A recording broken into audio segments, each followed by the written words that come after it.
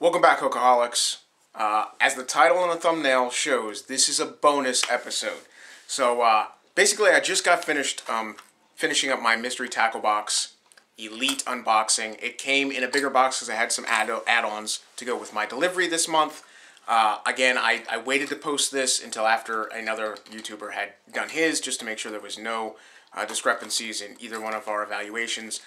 And uh, I wanted to touch on a subject um, that nobody else is talking about. And it's on one of the brand new baits. So Jenko has their trapline rip knocker. Now, if you know the original rip knocker, it's like a one knocker fish bait. This came in my MTB uh, today. So what I want to touch on is something very valuable, which nobody else tells you, but I'm gonna, because I've been through this before. Uh, this is something that I've never had to deal with. Again, in my video, I said, I've never had a hard, hard bait one knocker.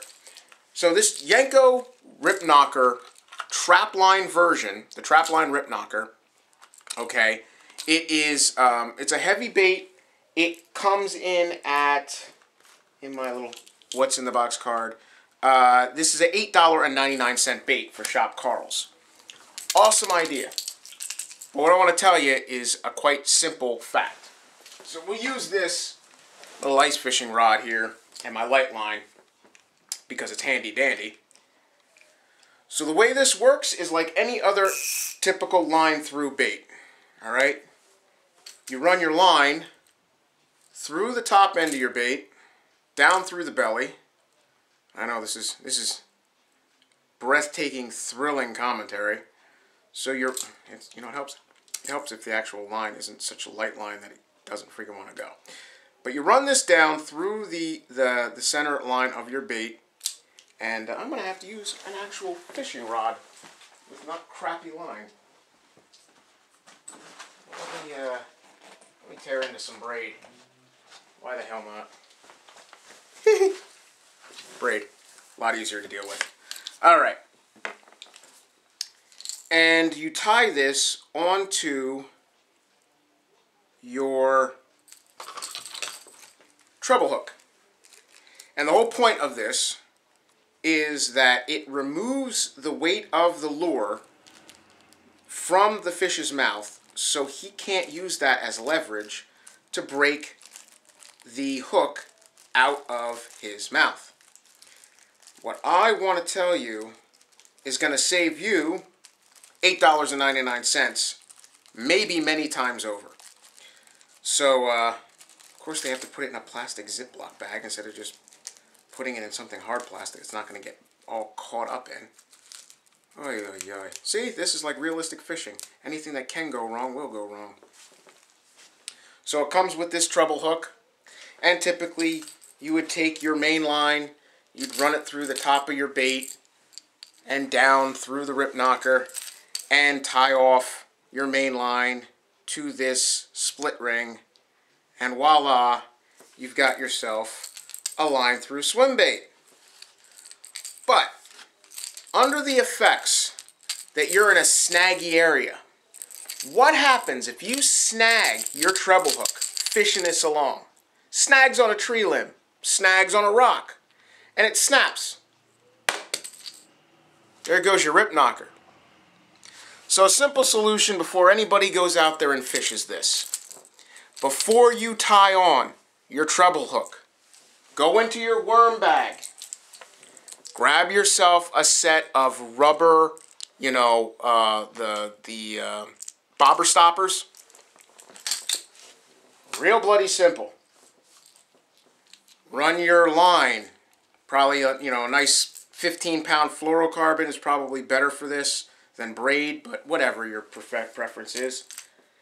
After you've run your main line through your rip knocker, take your bobber stop.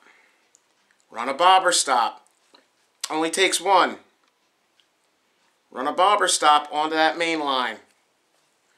Run that bobber stop up a little bit. Then tie your hook on. Not into the sofa. Obviously, I'm not fishing this, so I'm just going to make a standard little line because I'm just, I'm going to take this right back off. I don't want to knot it on permanently. Take your bobber stop, run the bobber stop down to your knot on your hook, cut off your tag end. And there is, right now, your lipless line through bait. Only difference, now that hook comes off.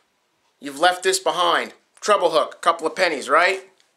You know what that bobber stop does? That bobber stop allows you to bring that rip knocker right back to the surface. You're out the treble hook. Everybody's got treble hooks in their in their sack to back themselves up. Treble hooks bend out. You got to replace them on the you know on the boat in the field. That little 10 cents of friggin' rubber there, a couple pennies of rubber, is going to save you from losing $8.99 in a lipless hard crankbait. All you got to do, before you tie on your treble hook, pop on a bobber stop. It'll allow you to bring this back to the boat, run your bobber stop back up the line a little bit, cut off, retie a new treble, run that bobber stop back down to the treble hook where your line tie is, cast out and catch your next big bass. So uh, that's what I'm here for. The reason I try not to have people BS and steal my commentary is because I'm here to help people save money and use what's up here and what my experience has been to give you guys information like this. I purposely set this aside from the main video again because I don't know if he's going to want to watch this one as well as my other one. Uh, but uh, it's something that I knew to put into the video. So if you guys get this in your MTB pack, do this and save yourself money. Worst case scenario, you lose a treble hook. Why, why worry about losing a single treble or worry about losing the entire bait, especially if you're not going back to Shop Karl's to spend another $8.99. All right? Bobber stop saves you money. As always, from me to you, I hope this saves some cash. If you like this hack, if you like this information, like, subscribe, and share my channel uh, to all your friends. Share it out on social media. Hashtag Hookaholics where you want to and we as a family will grow and we'll get stronger and stronger. I'm not here to BS. I'm not here to do a whole bunch of flash and flare. I don't do edits. I don't do drone photos. I don't do a whole bunch of musical montages. I don't go out and do stupid gimmicky crap like the worst uh, rod and reel at Walmart. Come on, man. You're better than that. Um, I'm here to help, not to get money, not to make some big ego play at social media. I don't give a crap. I'm me. That's the end. So, uh, for those that I do respect, uh, the, you know, even as cocky as some of them have gotten, there are a few YouTubers that I really do respect because they do keep it honest, and I'm going to be one of those that do keep it honest. I might not get as cocky. Or maybe I'll get inflated ego. I don't, I don't know yet. But regardless, I hope you enjoyed. Uh, again, this is me to you. Peace, tight lines, save money. I'll catch you on the next cast. Bye, Hookaholics.